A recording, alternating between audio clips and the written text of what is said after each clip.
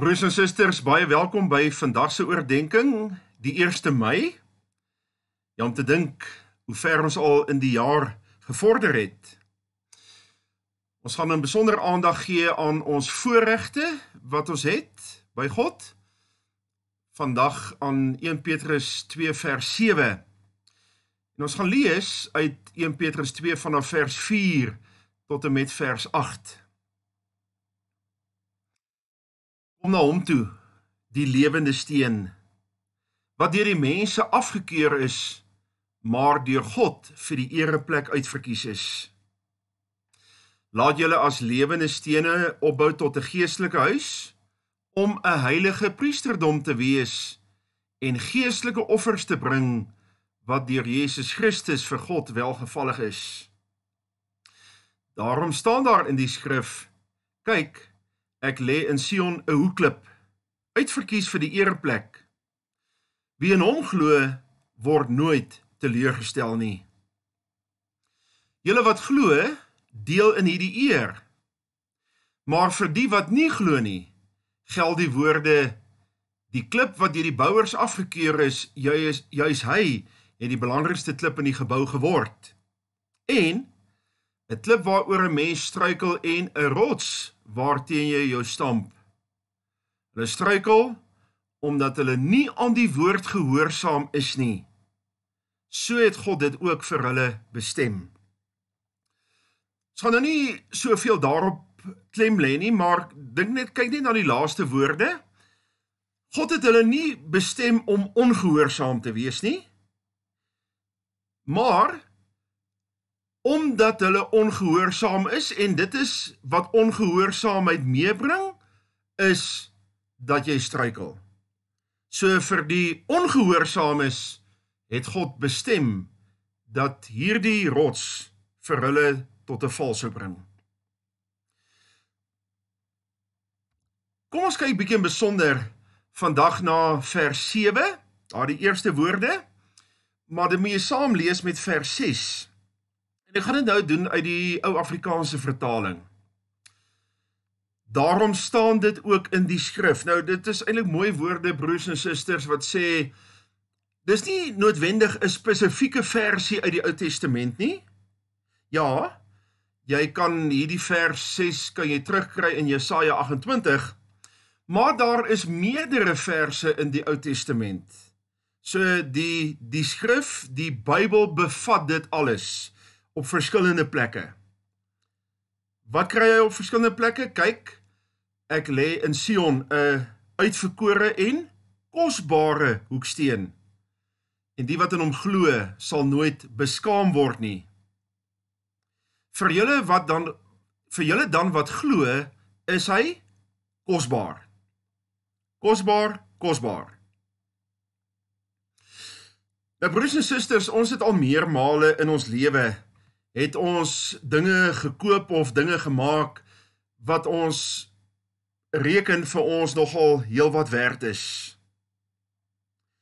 Om iewers later die spreekwoordelike eier op jou gesig te kry. Skaam, verleë, teleurgesteld. Dit wat ek gekoop of wat ek gemaak het is toe nie so waardevol nie omdat dit nie aan my verwagtinge voldoen nie. Die fout lê nie noodwendig by dit wat ek gekoop of gemaak het nie, maar by myself. Ek wou bepaal wat kosbaar is, wat vir my waardevol is. En as ek teleurgestel word is ek gewoonlik in die eerste plek nie vir myself kwaad nie. Maar ek is baie keer kwaad vir die een wat die artikel aan my verkoop het of wat aan my die materiaal of die bestanddele voorsien het waaruit ek die voorwerp gemaak het. Dis nie verniet dat die Heilige Gees in Psalm 146 sê moenie op prinses vertrou nie en ook nie op die mens jou hoop bou nie.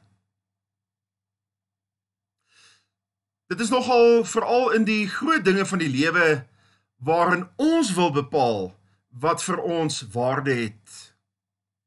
En ons doen nie berekeninge volgens ons eie verwagtinge In die Bybelse tyd in die tyd van Jesus op aarde, maar dit het al 'n aanloop gehad, het die Joodse leiers met die bouwerk van Israel se koninkryk dieselfde gedoen. Menslike verwagtinge en daarvoor menslike berekeninge. Die kans is uitstekend dat jy die spreekwoordelike eier op jou gesig gaan kry. Trouwens, veel erger nog as jy jou ewige toekoms wil bou volgens jou verwagtinge om daaraan te beantwoord en daarom jou eie berekeninge gaan gebruik. Want wat eie is aan mens wees, dit het gegeld vir die Joodse leiers, dit geld steeds vir die mens vandag. Die gemeenskaplike van tipies vleeslik mens wees is my sondige aard, is my gebrokenheid. Eie aan hierdie mens wees is dat in al die berekeninge Jesus Christus nie saamtel in die somme nie. En tog op verskeie plekke in die Bybel word hierdie ware werklikheid bekend gemaak. In die groot bouproses van na die sondeval tot en met die wederkoms in die groot bouproses in hierdie wêreld En daarom in die bouproses van die lewe is hy die steen, die klip wat deur God gekies is en dus baie kosbaar, waardevol is. Wat beteken dit? Sy waarde is so hoog dat hy onvervangbaar is. Laat mens nogal dink, nê? Nee? Ons sê so baie kere Geen mens is onvervangbaar nie. Hy wel. Hy is onvervangbaar. Wie in hom glo, beleef sy waarde. Maar meer as dit. Behalwe dat hier nou spesifieke of verskillende skrifgedeeltes aangehaal word, word hier ook verwys na die geskiedenis van die tempelbouwerk. En en en daarvoor kan jy bietjie gaan lees in 1 Konings 6. En wat baie opmerklik is met die tempelbou in die dae van Salomo. Voordat hulle op die bouperseel begin bou het, was al die stene alreeds die hoeksteen plus al die ander klippe, al die ander stene reeds presies volgens maat, volgens die plan, was hulle al in vorm gekap, klaar gebytel, klaar afgewerk. En dan eerstens is die hoeksteen gelê en al die ander stene is aan daardie hoeksteen en op daardie hoeksteen gebou. Ons as gelowiges het nie net Jesus as waardevol kosbaar nie, maar juis aan hom en op hom gebou in gemeenskap met hom is ons net so kosbaar daarom dat die 83 vertaling sê ons deel in hierdie eer. Het jy al 'n bietjie daaraan gedink? Jesus Christus jou offer by God. Onthou uit hoofstuk 1 besprinkel met sy bloed. Hy is jou lewende hoop. Hy is ons lewende hoeksteen. Ons lewens word gebou volgens God se verwagtinge En daarom is die bouwerk van ons lewens en die toekoms van ons lewens presies fyn bereken. Saam deel in die onvervangbare Jesus Christus. Dan mag ek en jy, mag ons met dankbaarheid die voorreg aanvaar van ons kosbare Here Jesus maar in gemeenskap met hom die voorreg aanvaar van ons kosbaar vir God. Saam word elkeen gebou in sy ewige tempel. In hierdie voorreg lê ook die verantwoordelikheid glo in Jesus Christus. Dit beteken hom lief hê deur hom gehoorsaam te wees. Dan hoef jy oor niks verleë te wees nie. Jy hoef oor niks skaam te kry nie. Niks teleurstelling nie. Inteendeel, die glorieryke waarde van sy oorwinningslewe. Aan die ander kant vir die wat nie glo nie. Hulle wat hom voortdurend soos 'n klip uit die pad van hulle lewens uitrol. Enerzijds, hulle sal oor hom val. Maar veel erger. Hulle sal hulle teen hom as 'n rots te pletter loop. Kom ons bid saam. Ons dank U Vader vir soveel voorregte. Ons gemeenskap met Christus. Dat hy vir ons die lewende hoeksteen is. Geanker, maar ook met duidelike rigting. Dat ons toegang tot U het. 'n Heilige priesterdom. En nou mag ons hoor kosbaar. Die kosbare onvervangbaarheid van Jesus Christus. Deur wie ons ook vir u kosbaar is. Sodat ons hieruit mag verstaan ons lewens is niks toevallig nie, is nie per ongeluk nie. Maar ons mag ons daarin verheug. Ons is bly daaroor. Ons lewens presies uitgereken, bereken en so volgens u plan stelselmatig gebou omdat u met ons besig is om te bou aan u ewige tempel.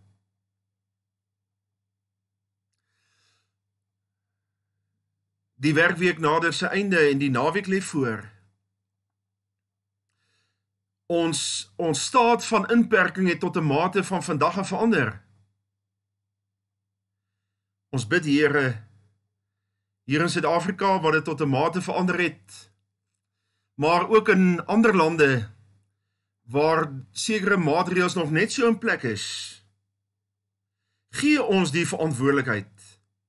Selfs al sou na ons oordeel van die maatreëls nie sin maak nie, maar gee ons die verantwoordelikheid en vir ons veral ons as gelowiges dat ons die voorbeeld stel en verantwoordelikheid om wel uit te voer dat ons so 'n voorbeeld vir die ander in die wêreld stel. Dat ons ja, ons sou kon hekel daaroor, ons sou 'n bietjie humor kon hê daaroor. Maar nie dat ons verwaand word en besluit hoe ons met reël self sal maak nie. Dat ons eintlik dus 'n wet vir onsself word. Want dan verhef ons en verset ons ons ook teen u wat alle gesag het en op verskillende maniere ook u gesag laat bedien. Ons bid dat u die naweek wat vir ons voorlê ook besonder sal maak dat ons daarin die goeie van u en uit u hand mag raak sien dit met mekaar mag deel nie net direk binne ons huise nie maar ook mag deel met ander wat in nood verkeer. Ons dank U Here dat U ons hierdie geleenthede gee. En mag ons dit deur die krag en in die vreugde van U Gees ook ten volle aangryp. Die vreugde om te kan gee. Want U voorsien ryklik. Ons bid dat u ook bekommernisse gevange sal hou binne u genade en almagshand van versorging. En dat u daarom ook aan in ons bekommernis vrymoedigheid sal gee want u het ons deel gemaak van 'n besonderse gesin, u gesin sodat ons met vrymoedigheid na mekaar toe mag gaan met ons nood maar ook met blydskap sal ondersteun sal help. Verhoor ons va Vader ook as ons bid om vergifnis van al ons sonde in die naam van Jesus Christus. Amen. Mag u 'n goeie nagrus hê, 'n geseënde naweek.